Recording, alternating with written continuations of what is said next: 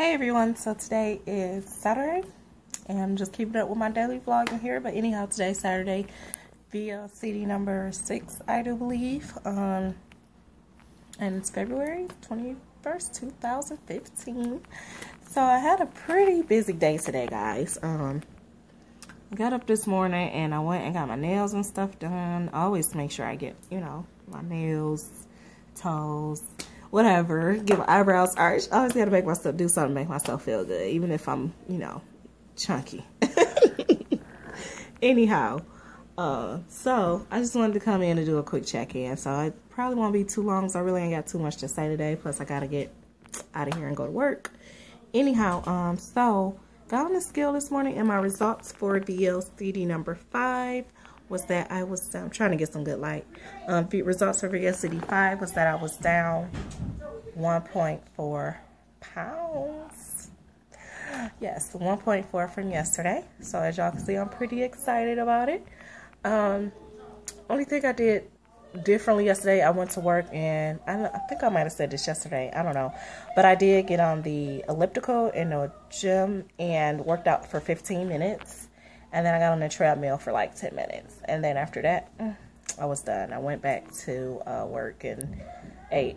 I had chicken and fish and broccoli yesterday. Uh, I didn't have any fruit though. I didn't have any fruit. I did have uh, Melba's, but no fruit. That was the thing. So maybe that, I don't know if it makes a difference. And honestly, this round, I haven't been eating all my fruit. Like I'll either eat one fruit or no, uh, or no fruit. And sometimes I eat the Melba's and sometimes I don't. So the carbs this round is only coming from really fruit or Melba's and sometimes I don't always eat them. But anyhow, that's really it. That's my whole check-in. I don't have nothing else to say. I'm excited. VLCD6, ready to get things going. And, well, got this round going. What am I saying? Let me get out of here. I'm a little excited, y'all, but I feel good. And I have on these pants. I think that's why I'm so excited. I have on these pants that I haven't been able to fit for a little while. Um, I could get in them, but I couldn't button them up comfortably.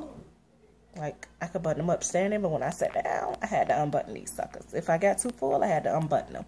So today I slid them on, and they fit better. Not 100% comfortable, but they're a lot better. Like, I can sit down and don't have to unbutton them. So, definitely not a scale victory. And I'm only six days into the protocol.